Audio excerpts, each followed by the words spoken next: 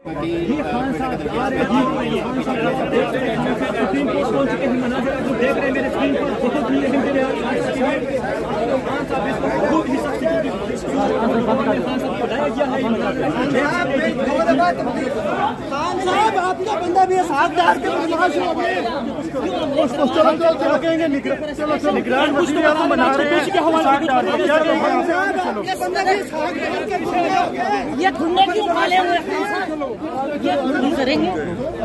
के वज़ीर आज़म कबूल करेंगे आगे पीछे टूट जाएँगे। गार्डन सॉरी गार्डन गार्डन वाले बंदे आ जाओ हट जाओ हट जाओ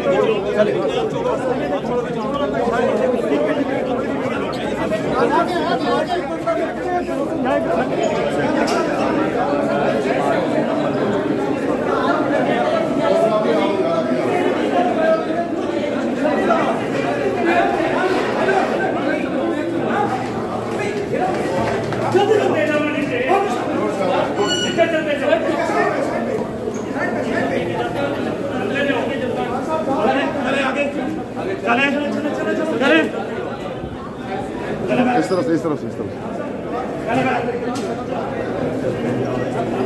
साइड पे पे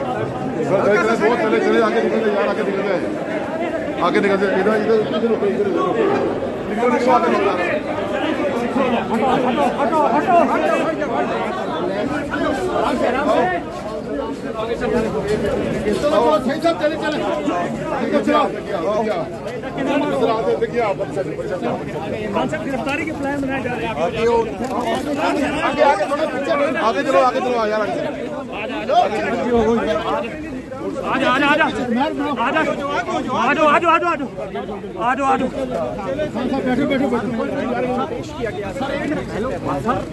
तीन बार तीन बार इस्तदा की गई। बलूचिस्तान हुकूमत के वकील की जानब से और तीनों बार उन्होंने कहा कि इमरान खान को अदालत ये हुक्म जारी करे कि इमरान खान जे टी के सामने पेश हों, इमरान खान शामिल तफ्तीश हों। लेकिन अदालत ने हुकूमत बलूचिस्तान के वकील की ये तीनों बार की गई इस्तदा मुस्तरद कर दी और कहा कि जब तक हम इस केस को सुन नहीं लेते, जब तक कंप्लेनेंट के वकील नहीं आ जाते, तब तक अदालत इस तरह का कोई हुक्म जारी नहीं करेगी। और अदालत जो है, वो इमरान खान को जो है वो रिलीफ भी देगी। उसके बाद कुछ ना कुछ तो रिलीफ जो है वो अदालत देगी। सात अगस्त तक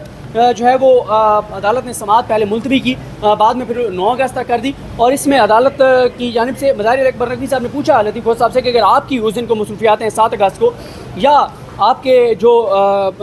जो जो पटिशनर हैं जिनकी तरफ़ से आप वकील हैं, अगर उनके कोई केसेस हैं तो आप बता दें। तो उस पर उन्होंने कहा, जी, जिस दिन आप हमें कहेंगे, हम पेश हो जाएँगे। और इस तरह से फिर मुसरत हिलाली साहबा ने बात कही। मुसरत हिलाली साहबा ने ये बात कही, जब बार बार जो बलोचिस्तान हुकूमत के वकील हैं, वो ये इस्तदा कर रहे थे कि इमरान खान को कहा जाए कि इमरान खान शामिल तफ्तीश जो जे आई टी है उसके सामने तो मुसरत हिलाली साहबा ने कहा कि अभी तो कंट्रोवर्सी ये है कि उन्होंने जो कंटेंट्स हैं एफ़ आई आर के उन कंटेंट्स को चैलेंज कर रखा है क्योंकि उसमें जो इमरान खान साहब के वकील हैं, लतीफ़ खोसा साहब वो आज भी दलाल के लिए तैयार थे, लेकिन आज कंप्लेंट के वकील ने आए। शायद ये हमत अमली जो है वो मेरा ये ख्याल है कि हमत अमली नाकाम हो गई है। शायद हमत अमली ये थी कि आज कंप्लेंट के वकील आएँगे नहीं, उनकी जान से एडजमेंट होगी और अदालत उसी तरह से केस को मुलतवी कर देगी, इमरान खान को रिलीफ दिए बगैर। और फिर अगर बलूचिस्तान हुकूमत इमरान खान को गिरफ़्तार करना चाहती है तो इस दौरान गिरफ़्तार कर लेगी। लेकिन आज अदालत ने बहुत बड़ा रिलीफ दिया और देखें अ, मसला यह है कि आज रिलीफ देने वाला जो बेंच है क्योंकि बदकिस्मती से यहाँ पर एक जजेस में तकसीम कर दी गई है कि ये जस्टिस काजी फायसा ग्रुप है ये जस्टिस बंदयाल ग्रुप है और जो बंदयाल साहब के साथ जिन्होंने इलेक्शन का फैसला दिया या वो जजेस जिनमें मज़ाहिर अकबर नकवी साहब हैं जिन्होंने एक सो मोटो लेने का चीफ जस्टिस पाकिस्तान को कहा था जब ये हुकूमत आई थी तो इस हुकूमत ने आते ही जिस तरह से तब्दीलियाँ की थी, कवानीन में, नैब में प्रोसिक्यूटर्स चेंज किए एफ़ आई में प्रोसिक्यूटर्स चेंज किए, कवानीन बदले तमाम चोरों, डाकुओं, लुटेरों को मनी लॉन्ड्रर्स को जो रिलीफ दिया गया था, जो कवानीन में तब्दीली करके जो पर्सन स्पेसिफिक कवानीन बनाए गए थे, उस पर मज़ार अकबर नकवी साहब ने एक नोट लिखा था, उस पर सुप्रीम कोर्ट ने सो नोट लिया था तो उस वक्त से हुकूमत और बहुत से जो हुकूमत के हामी हैं, वो खिलाफ हैं जजेस के। तो आज मज़ाहिर साहब थे, दूसरी तरफ़ जो दो जजेस याही अफरीदी साहब, जिनके याही अफरीदी साहब, हालाँकि बहुत सी जगहों जगहों पे वो काजी फैसल साहब के साथ नहीं जाते, लेकिन उनका शुमार जो है, बहुत से लोग वो काजी फैसल साहब के ग्रुप में करते हैं। हालाँकि मैं नहीं समझता कि उस ग्रुप का उस तरह से हिस्सा है, क्योंकि आप ये भी देखें कि जब मिलिट्री कोर्ट्स वाले केस में जस्टिस काजी फैसल साहब और जस्टिस सरदार तारिक मसूद साहब, वो दोनों उठकर गए थे तो याई अफरीदी साहब और मसूल शाह साहब उठकर नहीं गए थे। और मैं आपको बता दूँ कि पूरे सुप्रीम कोर्ट में एक से जज हैं जो सरदार तारिक मसूद साहब हैं, जो अंधी तकलीद करते हैं काजी फैसल साहब की, जहाँ काजी फैसल साहब जिस रास्ते पर चलते हैं, उसी रास्ते पर मज़ाक जो सरदार तारिक मसूद हैं, वो चलते हैं। तो ये बड़ा कहा जाता है कि ये उमर ता बंदयाल साहब का ग्रुप है, लेकिन आज तो जिन जजेस ने रिलीफ दिया है, ये वो जजेस हैं जिनके नोट जो है वो हुकूमत अपने हक में इस्तेमाल करती है, जिनके नोट पी एम अपने हक में इस्तेमाल करती है, जिनको कहा जाता है कि ये असल जजेस हैं, बाकी तो जो है वो जजेस ठीक नहीं हैं, इनके फैसलों को हम मानते हैं, बाकी को नहीं मानते तो आज उन याई अफरीदी साहब ने इमरान खान को रिलीफ दिया है जिनके गुण गाती है मौजूदा हुकूमत जिनके बारे में कहा जाता है कि वो बड़े अपराइट जज हैं बाकी तो सारे जो है वो सारे तो नहीं जो उमरता बंदयाल साहब के साथ जिन जजेस ने इलेक्शन का फैसला दिया था वो बड़े अ, कोई जो है वो इमरान खान के इमरान दार जज हैं इस तरह के उनको टाइटल दिए जाते हैं। तो ये आज हुकूमत के मुँह पर भी बहुत बड़ा तमाचा है कि जिस जज को वो खुद मानते हैं कि वो बड़े ऑनरेबल और बड़े आपराइट जज हैं उन जज साहब ने भी इमरान खान को रिलीफ दिया है। और मसला ये होता है